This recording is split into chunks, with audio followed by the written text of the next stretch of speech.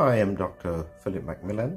I've been talking about autoimmunity for some time in the context of how it relates to severe COVID 19 and then in the period of time beyond to COVID 19 pandemic outcomes.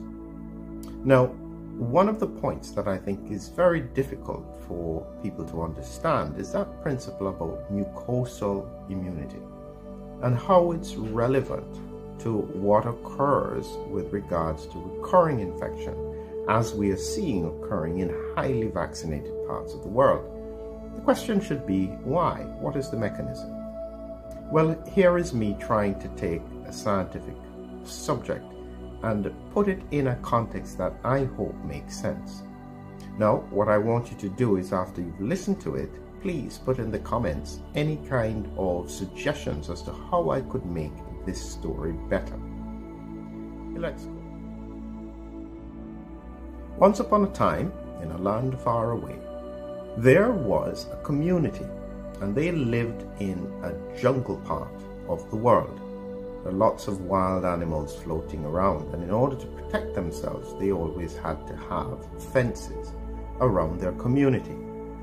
It just so happened that a group of hyenas that came into the region were targeting the community.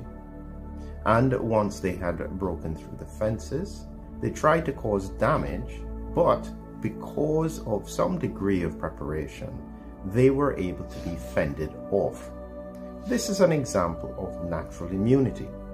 So once they had the experience of fending off the hyenas, what they then did is they put uh, in front of their fence some brush that the hyenas don't like because they had thorns on them.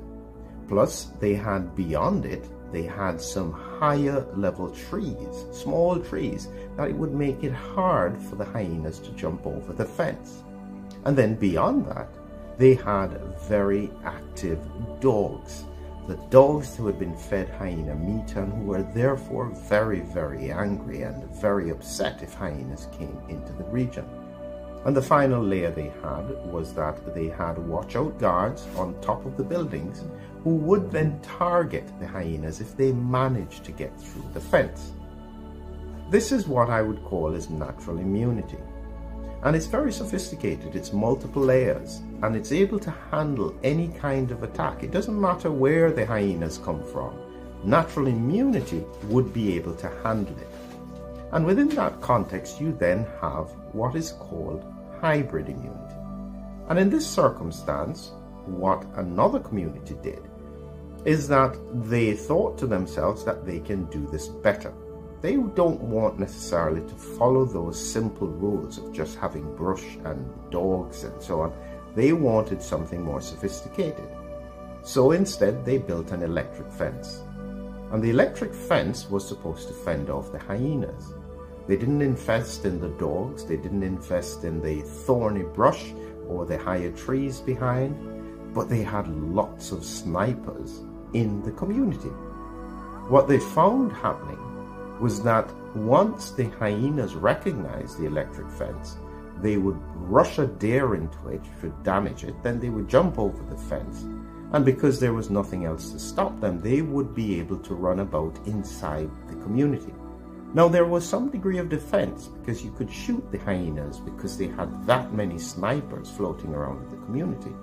But it comes at a cost. You don't know what damage they could do when they're running about inside the facility.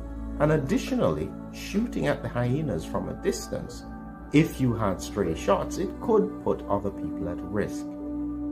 That's not the same as the other community that had developed a well robust mucosal immunity that prevented the hyenas getting in in the first place. That's the point that I'm trying to put across. And it's because of this difference between natural immunity and other forms of immunity that we're likely to be seeing these surges of cases. It's a challenge because how do you fix it? It's not easy to dig up that fence and put in a new one and to grow the brush around it. And these are challenges that we have to face. In effect, the only option may be to continue to maintain that vigilance of the snipers. And then trying to protect the community as best as you can once the hyenas get in, which would be the recurring infections. The good news is that at the moment, they manage to be able to keep severe problems at bay. Our problem is longer term, how long can that be maintained? And will it necessarily be just as effective? I hope that makes sense on my parable around mucosal immunity.